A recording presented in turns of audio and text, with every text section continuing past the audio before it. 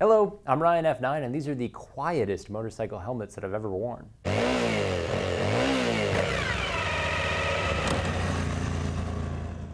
First up is going to be the Schuberth C3 Pro. Even on a naked bike at 100 kilometers an hour, no windshield, this guy keeps the noise down to 82 decibels. So how do we know that? Well, in typical German fashion, Schuberth built their own acoustic wind tunnel so they could have very precise metrics on volume. Quietness is kind of their thing, so don't be surprised when another Schuberth helmet pops up in this video. Since this is a flip-up helmet, Schuberth was able to use an abnormally chunky neck roll and chin curtain. It's very tight. That's the main reason why this helmet blocks out a lot of road noise. But there are a few other clever little things going on here too.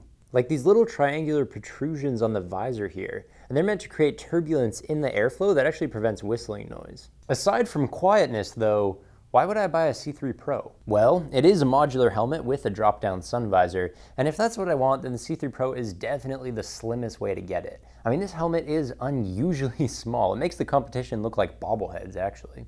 I might buy a C3 Pro for the colorway too. I mean, this matte blue on here is one of the nicest finishes I've ever seen on a motorcycle helmet, and Schuberth has a billion other equally stunning colorways too. And they even have a few that are perfectly matched to factory BMW paint, which gives you a pretty good idea about who likes to buy this type of helmet. In that vein, yeah, I might buy a C3 Pro as a status symbol. It costs $1,000, which is probably more than it needs to be. Especially considering that its closest rival, which is HJC's RPHA Max, weighs an identical 1,610 grams. It has a very similar round head shape. It has a little bit worse road noise, but much better ventilation. Well, that only costs $550. Speaking of ventilation, this is straight up bad. I mean, I was tempted to go easy on the Schuberth because it's so beautifully made and it costs more than my first motorcycle, but honestly, it's hot as hell. I mean, they were so overzealous with the neck roll and the chin curtain and sealing out the road noise that they basically created a sealed bubble. Now, I tested it on a 32 degrees Celsius day in Montreal. I eventually just had to give up and ride with the face shield open to keep my face from melting, and that kind of defeats the point of a quiet helmet. The one positive thing I can actually say about ventilation is that with this interior duct here, air is actually funneled across the visor very well. I tried my absolute hardest with my breathing and everything trying to get this lens to fog up, but it wouldn't do it. Style-wise, you'll see this helmet on ADV bikes a lot, although considering how stuffy it is, I actually have no idea how anyone off-roads in this thing. And Schuberth also says that the rear spoiler on here turns it into a real sport helmet, and I kind of call bullshit on that as well. I mean, personally, I would take the C3 Pro for luxurious touring in chilly weather and nothing else. Now, a much better option, in my opinion, is going to be the Shoei Qwest. No decibel numbers on this guy, but after riding in both helmets, I can say that this is similar in quietness to the C3 Pro. It's probably a smidge louder, but not by much. The chin curtain isn't nearly as sealed as the C3 Pro, so I'm not actually sure how this helmet is so quiet. I mean, it's definitely larger than the Schuberth, so maybe they have more room for soundproofing layers in there. And definitely, for sure, this shield mechanism helps a lot too. It's called the QRSA system, or Quick Release Self-Adjusting System. And what that does is you can see on the base plate here that it's spring loaded. And so what's actually going to happen is as I push the face shield down over the last ratchet, this entire base plate is going to suck backwards and pull the helmet shield tight against this rubber window beading. And so that creates a really airtight seal that cancels out a lot of noise. I have to say that the Qwest is extremely comfortable to wear. I mean, it's an even rounder head shape than the C3 Pro, so it should be even more mismatched to my intermediate head, but I mean, somehow the fit feels equally secure. It feels lighter than the Schuberth, even though it's not.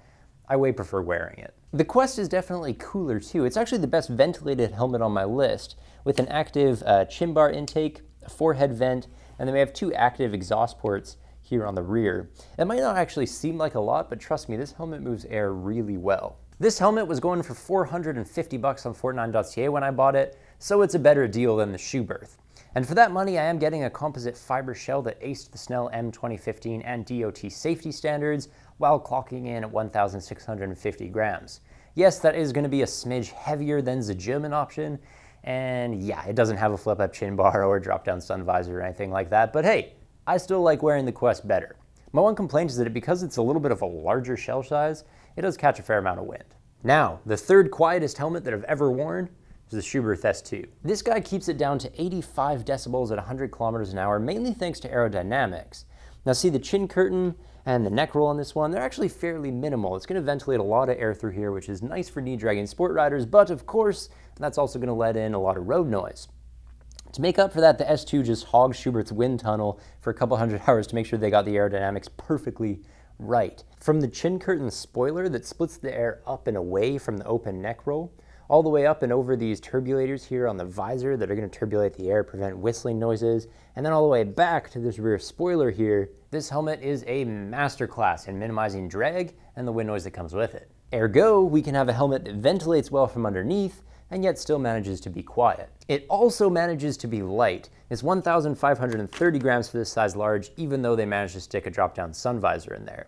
It's very slippery too. Out of all the helmets on my list, this one caught the least wind. Very slick, and so it feels light at speed. I do have one complaint though, and that's that this helmet gets a lot louder when you have the chin bar and the forehead vents open. I'm not sure why the difference is so pronounced with the S2, but it is. Anyway, the S2 is DOT and ECE rated. It's an intermediate head shape, and this dark wave version will run you about 850 bucks.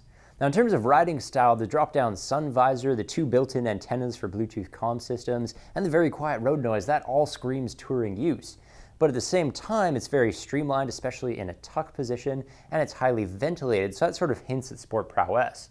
Well, that's an easy one, right? Because touring plus sport equals sport touring, and that's the S2's primary use. It's probably my favorite helmet out there for that purpose. And finally, Shoei's RF1200 probably deserves a mention when it comes to quiet helmets. This is the loudest helmet on my list, but it's still quieter than pretty much everything else. Plus, the RF1200 achieves something that quiet helmets almost never do. It has a racer's cut. And by that I mean that the chin bar and the neck roll sit higher on the head than a typical motorcycle helmet would do.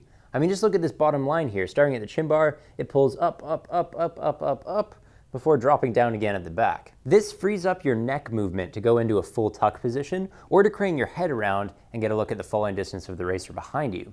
It also makes the helmet easier to put on and lighter to bring the shell up like this, 1,570 grams for this size large. A high-cut helmet increases airflow underneath the neck roll as well, which is really good for ventilation. Of course, that's also where noise problems typically arise. The more air that you have flowing underneath a helmet, the more you're going to hear the road.